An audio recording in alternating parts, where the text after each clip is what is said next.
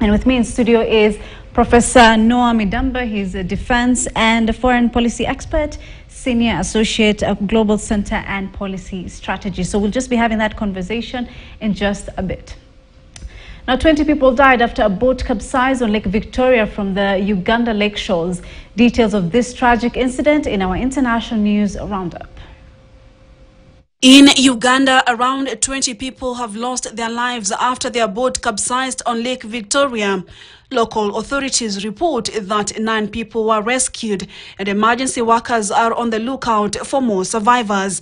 Apart from the passengers, the boat was said to be transporting charcoal, fresh food and fish before the incident occurred in the early hours. According to police, the accident is attributed to overloading and bad weather. In Niger, the military ruling group is urging citizens in Niamey to fight for the country's freedom and push back against foreign interference from countries like France. Speaking to media, Mahaman Sanusi, the interim coordinator for the M62 civil society group leading the protest against foreign interference, said they wanted immediate departure of foreign forces and were against any kind of threat to continue the struggle for the independence of the people. Democratically elected President Mohamed Bazoum was ousted by the Presidential Guard last week.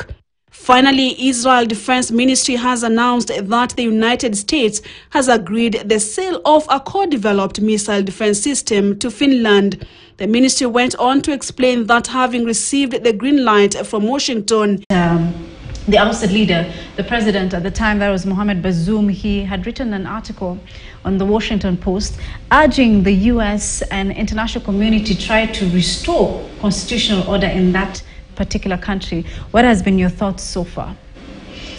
So let's uh, begin from exactly where you are uh, talking about, uh, and that is the global environment. And then how can we then sustain stability and peace around the world?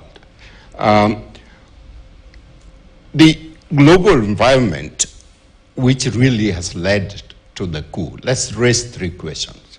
Uh, the second question what are the how does the colonial legacy um, that has led to uh, to some really uh, unsustainable uh, countries, particularly in Sahel, and also francophone, uh, former francophone countries, and then what is the stake for Africa? Um, these are the big questions. Right. Uh, let's look at, you know, the, in terms of capacity, uh, uh, economic capacity uh, to solve um, uh, global problem, global war. Uh, there's prediction uh, that by 2050, China will uh, have a bigger economy than United States, Right. and that India will increase to maybe number two. But bearing this statistic, I, I have very, very serious doubt about those projections. Uh, because combined US and Europe uh, in terms of their gross national product, this is nine- 19, tw- um, uh, 21, was 45.9 trillion. That's Europe and the US alone. And when you look at then Japan, Australia, Korea, South Korea, countries that will align with the US very easily um, if they are war, uh, you are looking additional 8.3 trillion, Right. which is 50.22 trillion dollars. Uh, compare with Russia, which has only 2 trillion and has been highly degraded uh, based on the war.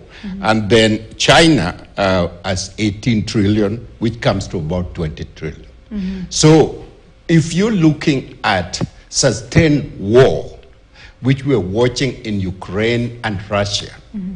Ukraine, supported by Europe and the rest of the US ally, is able to degrade constantly the capacity of Russia uh, to carry on mm-hmm. a major conventional war. Mm-hmm. If they don't use nuclear war, which then the, the West and the U, uh, US will use it two times Right. to just change this world the way it is. So, moving from the, this kind of environment, the question is there going to be a war between Russia and United States? Right. I I have serious doubt that either one of them will attempt to use nuclear weapons. You've talked about Russia, and I just want us to talk about now Russia's influence. Yes, in- that's where I'm going to. Right. Now, so what, what, what, is, what is going to happen then? What is the stake for Africa? Africa is going to be the theater for proxy war, Right. uh, where you have US interests on, and Western Europe on one hand, and then Russian and Chinese on the other hand. It is playing in Sudan right now. It is going to play in the entire Sahel region because of the Francophone uh, legacy of having very, very poor governors by the time that these countries got independent. So Niger, uh, as one of those um, uh, zones which we are focusing on, is one of the poorest countries in the world, and yet it's highly endowed with the with uranium. Right. So 100%. Russia interest to mm-hmm. is extract uranium mm-hmm. and extract gold and extract diamond. Mm-hmm. And so the same with the rest of the people. This at the stake in Africa, which we need to really now explore. Yes, of course, when you talk about uranium, at least it's 7% in, uh, in uh, Niger, and it really produces nuclear. But I want us to go back to the Russia situation. Uh, there's been reports that the Wagner Group is actually involved in some of the activities, of course, in Niger. And the government, on the other side, the Russia government, um, has actually said that the gov- they need to restore peace in Niger. What do you think is the issue now here between the Russia government and the Wagner mercenaries? The Wagner mercenaries, as you have seen in Europe, are some of the most awful uh, group of people. They're, they're really, really not legitimate military. Legitimate military as a code of conduct on how to, to perform in war, when to stop it, and when to start it, and all that kind of thing. These are, these are prisoners. They're the worst of the worst, uh, which are now involved as expeditionary force for Putin and his oligarchy. Right. They do not serve the best interest of Russia, and therefore they don't serve the best interests of Africa. They're here to extract. And therefore they are going to, um, as you can see among the uh, Sahel region, is very volatile uh, because of the Islamists uh, that have been constantly attacking these countries. And also they're very poor countries, as you can see. So they are the potential, um, the potential unit that will be attacked first uh, by this renegade Right. kind of troops. Now, so the issue then, at the same time, the U.S. are not sitting idle. They have over 1,000 troops uh, stationed around this area. Right. Uh, so the U.S. is also fighting, and Europe is fighting for its interest. The question now become, what is the stake for Africa? Uh, Africa can no longer look at uh, the UN and, and say, come and help us. Yeah. We are fighting. Uh, because there's no unity in the UN. There's no unity in Security Council. So Security Council cannot function as a body. It is divided. And then US has its own interest, which it's serving. Uh, the US have not have what I call grabatite in Africa, and I'm talking as uh, as American Kenyan uh, i- in terms of my um, uh, affiliation. Right. Um, the U.S. after Second World War under Marshall Plan changed Japan completely to where Japan is right now. Right. They changed Japan after the Second World War. And if the U.S. is interested in African development, they have the enough resources and ability to be able to help Niger in a most significant way uh, through development and, and cooperation, uh, realistic cooperation and investment with African countries. Let's talk about the people now in Niger. Uh, we had seen there was a bit of peaceful demonstration uh, with the citizens of Niger, but they were backing the coup. Why do you think this was the case? Is there no democracy in that country? Well, democracy is elusive, Uh, even elusive um, in America. Uh, you can see Trump elusive in, in Russia completely. And in Africa, it's a real challenge. what is happening is the citizens are being moved through really powerful um, propaganda uh, by Wagner groups and everybody. Uh, and then historical African, and this is something I've been arguing against constantly. Historical, the Soviet Union was a partner of the Africa in the struggle for independence. The current regime in Russia under Putin is not the Soviet Union. Uh, the nature of the Soviet Union committed uh, as a partner uh, to make sure that African was independent is not Putin uh, is interested in extraction and taking, you know, um, taking goods out of Africa Mm-hmm. under the pretext of creating the old Soviet Union. And so some Africans easily get swayed with this kind of argument. Mm-hmm. And you can see the division among African countries. Instead of focusing as a unit uh, to take care of our business, they're divided. Mm-hmm. I want us to talk about now the mediation process that has been going on there. We know ECOWAS came in and they had even given some sanctions. But as of today, we had seen some West African delegation now even leaving Niger. I want us to talk about that situation. How do you think ECOWAS is handling the mediation process? What is happening uh, uh, for there Yeah.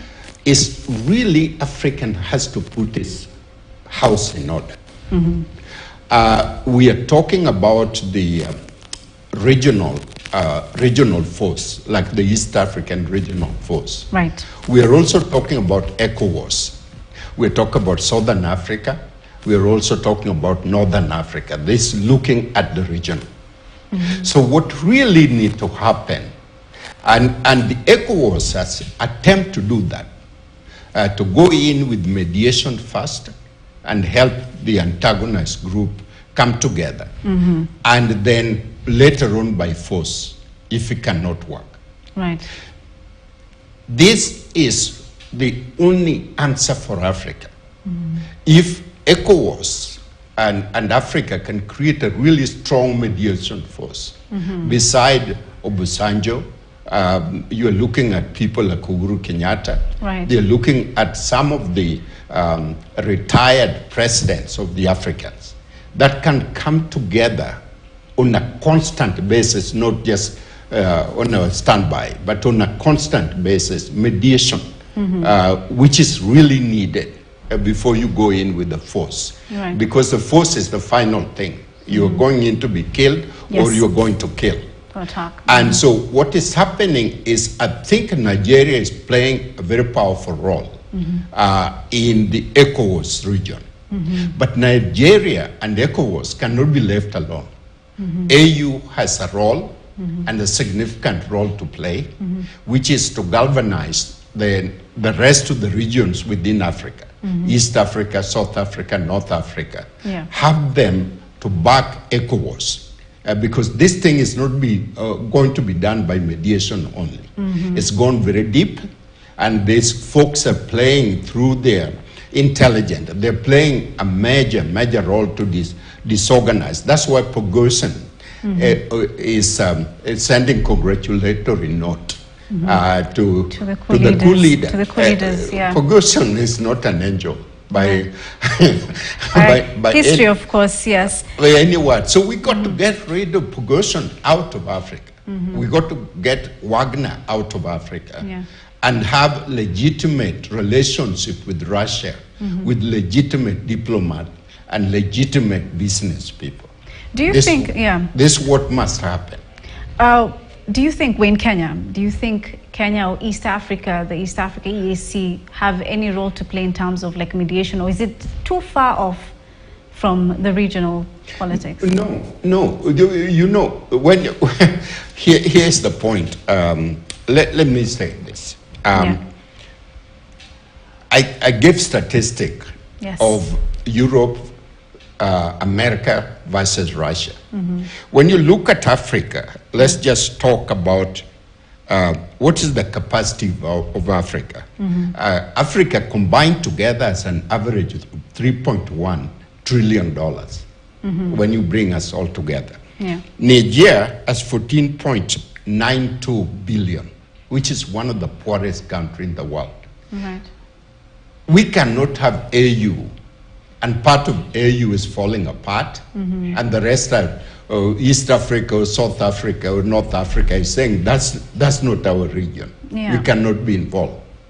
I call for AU to really create a highly sophisticated team, team of diplomats, intervening uh, force, and then eventually Yeah. uh, a powerful force that will support the region so that Nigeria and the rest of ECOWAS people are not alone. We are highly integrated system. This is the only answer for Africa. Everybody else have their own interest.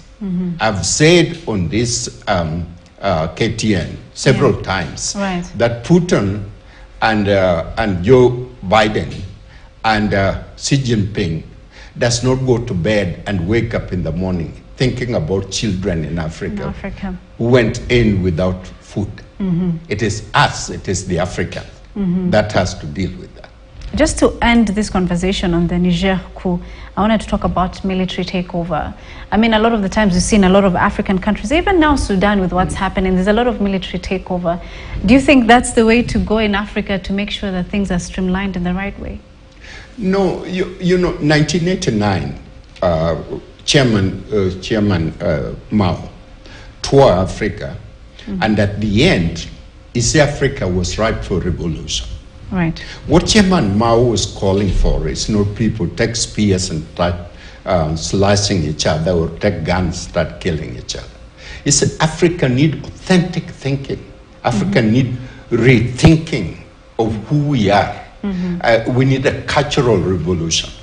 We need to change mindset in order to maintain stability in Africa. Africans didn't take that uh, because they were competing those who want to be communist, those who want socialist, those who want to be democratic.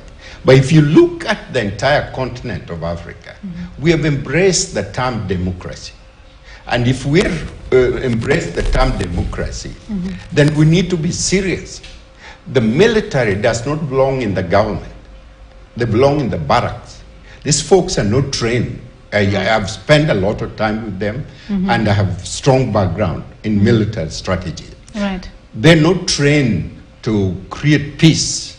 They're trained to kill. Mm-hmm. You know, and you can bring a killer uh, to manage a government where you need reflection and debate and time and thinking. You cannot, and therefore they have not succeeded in Africa. Yeah. I started from West, Af- West Africa, spread all over Africa. Right. And apart from Paul Kagame, uh, who really ventured out into rational thinker and uh, bringing the country together, none of them have succeeded. So the military, uh, Egyptians have been run by military for a long time. Yes, there is stability. Yeah. Uh, yes, there is growth. Yeah. But the issue is people have no say They have no say in, in in what, what's happening. happening. So the military does not belong in the government. Right. They, they belong to the barrack. They belong to the barracks. Let's move on to another country now and talk about Ethiopia. Ethiopia is one of the countries that's really still in some sort of like turmoil politically also. There's reports that they're planning a state of emergency in the Amhara region. There's conflict between the local militia and the army there. What are your thoughts on that situation there? Well, I'm watching Ethiopia very closely. Mm-hmm. And my hope is that East Africa is soon or later is going to admit Somalia and going to admit uh, Ethiopia as part of the greater East Africa region Right. so that we can get them stronger and stronger. The issues in Ethiopia, uh, they are historical. Uh, most of the people were denied their right uh, over the, um, uh, the, the, the kings, the regime that has gone for years and years. Yeah. Most of the people were poor. And now, as you come, you can see military, uh, uh, you know, after, after military, you know, take over and tearing down an ethnic, ethnic fighting, the Oromos liberation, uh, the Tigranians, the, everybody, and, uh, and, and uh, splitting each other. So Ethiopia need to be watched very closely. I, I was arguing against the U.S. policy earlier on Right. that that say we're going to sanction them, you know, because they're fighting. Ethiopia, um, and under, under the new uh, president, this president is very proactive. Okay, he's mostly given opportunity. Yeah. Will bring Ethiopian together Right. and provide the kind of um, uh, the kind of governance that is needed. But you see, the, the interest of the, the rest of the world are not there. Uh, they're there to create trouble between Ethiopia and, uh, and Egypt, uh, trouble within inside Ethiopia, so that they can fight, then they can have opportunity to come in. Ethiopia growth um, projection is moving in the right direction, much faster than than uh, than we had predicted earlier. But so it need to be nurtured. Again, you need Africans, you need diplomats, you need the kind of work that uh, President Uhuru was doing earlier. Uh, need to be encouraged so that we can bring Ethiopia together to work, so that we can trade like we're doing right now with Ethiopia. Finally, I want us to talk about now the humanitarian crisis because with conflict, there's a lot of humanitarian crisis, a lot of refugees, and there's even reports of cutting aid when it comes to this, uh, you know, refugee crisis. What are your thoughts on how to manage the humanitarian crisis, especially in Africa? Well, uh, here, here's um, uh, uh, my thinking. Uh, uh, we can no longer call the, uh, the Somali refugees we have in Kenya, we can no longer call them refugees. We need to go to Dadaab camp and, and just say, make a choice. Do you want to be a Kenyan or do you want to return uh, to Somalia? Right.